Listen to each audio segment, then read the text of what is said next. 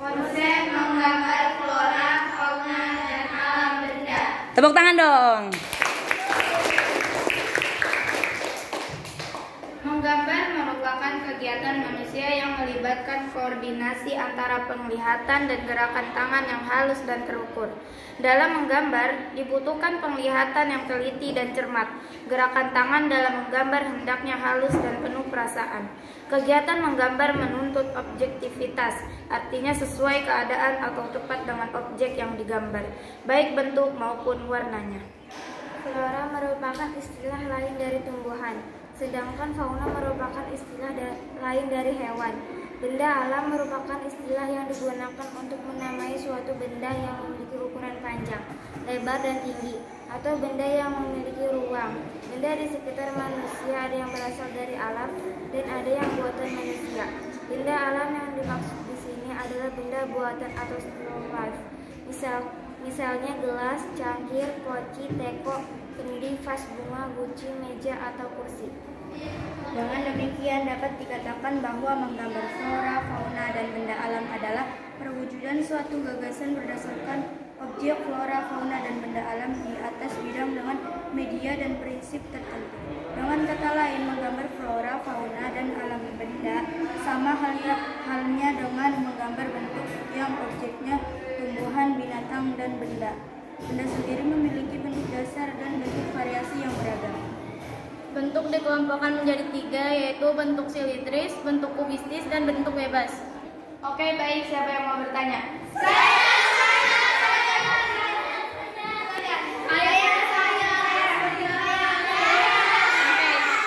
Oke, siapa yang ditunjuk sayang? Oke. Menggambar adalah Apa yang dimaksud dengan menggambar? Mungkin jawab pertanyaannya. Iya. Apa yang dimaksud dengan menggambar? apa yang dimaksud dengan menggambar? Oke, pertanyaan kedua siapa?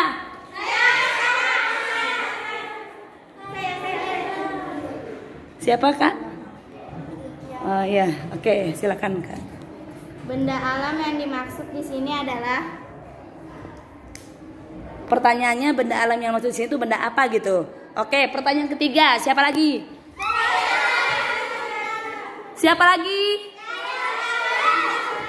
Coba kak, siapa kak? di Oke, yang belakang. Oke, cantik. Dalam karya seni rupa bentuk dapat dikelompokkan menjadi berapa? Oke, sekarang pertanyaan keempat. Siapa yang mau bertanya? Siapa yang mau bertanya? Oh ya, ditunjuk sama kakak siapa? Siapa kak? Oke, cantik. Silakan. Apa yang dimaksud dengan flora? Oke, pertanyaan sudah ada empat. Baik, akan dijawab oleh siapa? Pertanyaan yang pertama, apa yang dimaksud dengan menggambar? Gambaran merupakan lukisan atau imajinasi atau imajinasi yang atau imajinasi yang Gimana? saya kurang puas. Oke, kurang puas kak? Coba siapa yang bisa eh, menjawab? Oke, baik. Menggambar merupakan kegiatan manusia yang melibatkan koordinasi antara penglihatan dan gerakan tangan yang halus dan terukur. Dalam menggambar, dibutuhkan penglihatan yang teliti dan cermat. Gerakan tangan dalam menggambar hendaknya halus dan penuh perasaan. Gimana sudah puas? Puas. Oke, tepuk tangan dong. Oke, pertanyaan kedua tadi pertanyaannya bagaimana pertanyaannya? Apa yang dimaksud dengan flora? Oke, baik. Siapa yang akan jawab? Tadi pertanyaan kedua adalah apa yang dimaksud dengan flora? Siapa yang akan jawab, sayang? Oke, baik. Flora itu ya bunga atau kayak tanaman. Bagaimana? Puas? Kurang puas. Kurang puas, Kak? Oke, siapa yang akan menjawab? Siapa yang akan menjawab? Oke. Flora merupakan istilah lain dari tumbuhan, sedangkan fauna merupakan istilah lain dari hewan. Benda alam merupakan istilah yang digunakan untuk menamai suatu benda yang memiliki ukuran panjang, lebar dan lebar dan tinggi. Ada flora adalah istilah dari tumbuhan. Flora, flora merupakan istilah dari tumbuhan. Bagaimana kamu puas? Puas. Puas ya? Tadi flora dijawab oleh kakak ini adalah bunga-bunga atau tanaman, tapi ibaratnya sama ya. Tapi flora ini istilah lain dari tumbuhan. Oke, baik tepuk tangan dong.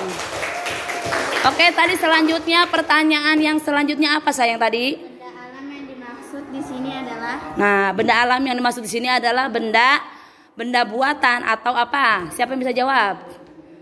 Siapa yang bisa jawab? Oke, tadi pertanyaan ketiga adalah uh, kamu bertanya tentang benda alam yang di sini adalah benda apa? Coba, siapa yang akan menjawab? Siapa yang akan menjawab? Oke, baik. Benda alam yang dimaksud di sini adalah benda buatan atau stylish. Misalnya gelas, cangkir, poci, teko, undi, vas, bunga, guci, meja, atau kursi.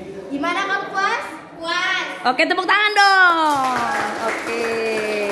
Eh, tadi pertanyaan dari siapa lagi? Yang terakhir? Oke, pertanyaannya apa sayang? Pertanyaannya dalam karya seni rupa bentuk dapat dikelompokkan menjadi berapa? Oke, siapa yang akan menjawab sayang? Siapa yang akan menjawab? Oke, baik. Dibentuk menjadi tiga, bentuk silindris, bentuk kubistis, dan bentuk bebas. Tanya. Gimana puas? Kurang puas. Kurang puas kak? Siapa yang mau akan jawab? Saya. Siapa? Saya. Oke, baik. Bentuk dikelompokkan menjadi tiga, yaitu bentuk silindris. Silindris adalah ben- benda yang bentuk berdasarkan silinder. Karya seni silindris pada umumnya keramik atau gerabah, antara lain cangkir, poci, kendi, vas, bunga, dan kunci.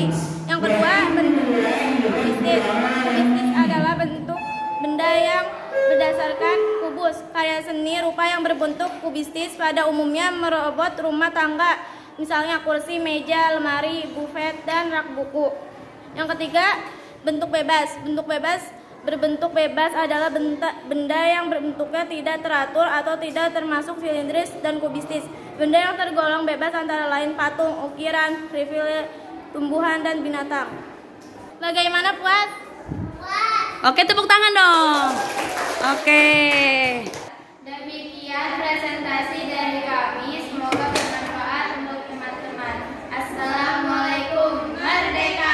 Merdeka. Oke, karena waktu sudah habis, tadi sudah bunyi bel ya. Oke, maka pembelajaran seni budaya kita akhiri dengan hamdalah. Oke, terima kasih kakak. Silakan.